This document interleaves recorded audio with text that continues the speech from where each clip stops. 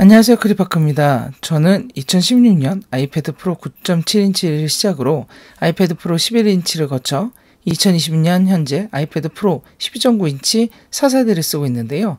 아이패드를 사면 항상 케이스와 키보드가 고민이 됩니다. 아이패드 프로 9.7인치를 사용했을 때는 일반 보호 케이스만 샀다가 로지텍 케이스형 키보드를 샀었는데요. 페어링이 가끔 안 되고 별도로 충전도 해야 되고 무겁기도 해서 최종적으로는 애플 정품 실리콘 케이스와 스마트 키보드를 사용했었습니다. 일반 보호 케이스를 사니 결국 키보드가 필요했고 키보드를 정품을 쓰려니 본체에 상처나는 게 마음에 걸려 결국 정품 실리콘 케이스까지 사게 되었던 것이죠. 아이패드 프로 9.7인치를 쓰면서는 편의성, 이동성만 고려했었기 때문에 2018년 가을 아이패드 프로 11인치가 나왔을 때는 별다른 고민 없이 스마트 키보드 폴리오를 사용했었습니다. 활용도가 커지면 커질수록 11인치는 작다는 생각이 들었고요. 2020년 이번에는 12.9인치를 예약했습니다. 그런데 이젠 키보드가 고민되더군요. 매직 키보드.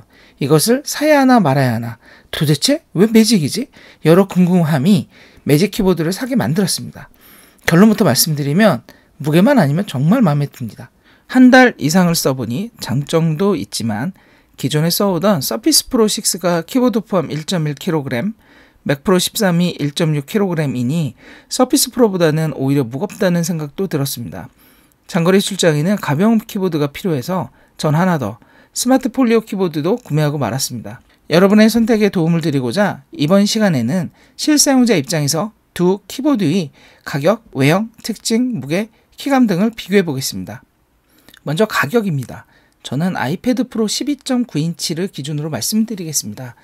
애플 공식 홈페이지 기준으로 매직 키보드 44만 9천원, 스마트 키보드 폴리오 22만 9천원입니다. 무려 22만 원의 가격 차이입니다. 스마트 키보드 폴리오에 매직 트랙패드 16만 9천원짜리 사시는 게 오히려 5만 천원 저렴할 수도 있습니다. 매직 키보드 사는 값이면 아이폰 SE 하나 살 수 있는 가격이죠. 웬만한 스마트폰 하나 살 수 있다는 말씀입니다. 외형을 보겠습니다. 공식 홈페이지 제품 소개를 보면요. 매직 키보드는 편안한 타이핑, trackpad 탑재, floating cantilever 디자인, 전후면 보호라고 쓰여 있습니다. 스마트 키보드 폴리오는 두 가지 거치각도 전후면 보호라고 쓰여 있습니다. 매직 키보드는 hinge가 있어 자유로운 각도로 고정이 되지만 스마트 키보드 폴리오는 아이패드가 붙어 있는 상태에서 단 두 가지 각도만 조절이 됩니다. 또 하나의 사용법이 있는데요. 뒤로 젖혀서 드로잉이나 필기 시에 편리하게 사용도 가능합니다. 매직 키보드는 이렇게 아이패드가 공중에 띄어져 있는 것을 floating cantilever 디자인이라고 하는데요. 뒤로는 어느 정도 각도가 되면 더는 눕힐 수 없습니다. 애플 펜슬을 통한 드로잉이나 손글씨 메모에는 불편한 점입니다. 키보드의 크기를 보실까요? 키보드의 자판의 크기는 차이가 없습니다. 매직 키보드는 자석식으로 2단 각도 조절하는 부분을 floating으로 띄우고 그 공간에 trackpad를 배치하는 디자이너의 노력과 고민의 흔적이 보입니다. 키보드 무게는 매직 키보드 약 710g, 스마트 키보드 폴리오 약 417g입니다.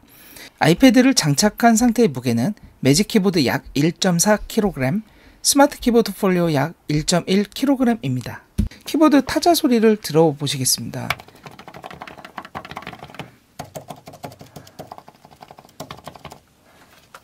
매직 키보드는 일반 노트북 키보드와 유사한 키감을 보여주는데요.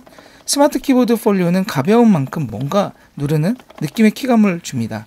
단, 커피를 흘렸을 때는 매직 키보드는 저를 멘붕에 빠뜨리는 매직을 보여주겠지요. 실제로 사용을 하다가 커피를 흘렸는데요. 스마트 키보드 폴리오 같은 경우는 얼른 닦아준 다음에 잘 말리니 아무 이상 없었습니다. 후면에는 LiDAR라는 레이저 스캐너가 들어가면서 사각형의 홀이 생겼는데요. 이번부터 나오는 스마트 폴리오 키보드를 바로 전 모델에 사용하시려면 불필요한 공간이 남게 되겠습니다. 매직 키보드의 가장 장점 중 하나는 역시 어두울 때 켜지는 키보드 백라이트 기능이라고 할 수 있는데요. 빛을 줄이거나 거의 없는 상황에서 작업을 해야 할 시에 이는 아주 유용한 기능입니다. 물론 스마트 폴리오 키보드도 가벼운 LED 조명 쓰시면 되시겠지만 매직 키보드처럼 바로 열고 쓰고 바로 닫고 바로 열고 쓰고 닫는 편의성에는 미치지 못하겠습니다. 백라이트 밝기도 조정이 가능합니다. 비교를 위해서 스마트 키보드 폴리오도 같은 조건에서 보여드리겠는데요. 보시는 바와 같이 어둠 속에서 아무런 백라이트 기능이 없습니다. 지금까지 말씀드렸던 내용을 표로 정리를 해보았습니다. 선택의 기준은 제가 스스로 어떨 때 아이패드를 주로 사용하는지, 노트북 대용인지, 글쓰기인지, 사진 편집인지, 동영상 편집인지, 이런 활용도에 따라 키보드가 필요하기도 아예 필요 없기도 할 거라고 봅니다. 그리는 것이 또는 메모하는 것이 주 용도라면 아이패드에 아이펜슬하고 스마트 폴리오 케이스가 최적의 조합일 수도 있습니다. 어떤 제품이든 신상품이 나오면 flex하고 싶은 마음이 불쑥불쑥 솟아 나옵니다. 그러다가 제가 뭘 샀는지도 까먹고 또 사게 되기도 하고 용도를 잘 생각하지 않고 샀다가 후회하기도 하고 용도를 잘 생각하고 산다면 그것이 싸든 비싸든 중요한 것이 아니라 저에게 얼마나 쓸모가 있고 잘 활용할 수 있는가가 중요하겠다고 생각을 합니다. 어떤 장비는 어쩌다 한 번을 위해 사기도 하지만요.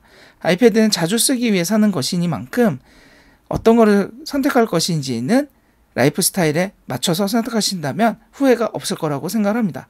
전 왜 두 개를 flex 해버렸냐면요. 매직 키보드가 이쁘고 키감도 좋고 트랙패드도 같이 있는 게 좋았습니다. 단 무게가 너무너무 걸리고요. 보통 때는 매직 키보드를 가지고 다닙니다. 바로 열고 사용할 수 있기 때문입니다. 스마트 폴리오 키보드는 출장용입니다. 국내에 출장 시 보통 노트북과 아이패드를 가지고 다녔었는데요. 업무상 윈도우즈 PC를 써야 하기 때문에 그랬습니다. 그래서 조금이라도 무게를 줄이기 위한 선택이었고요.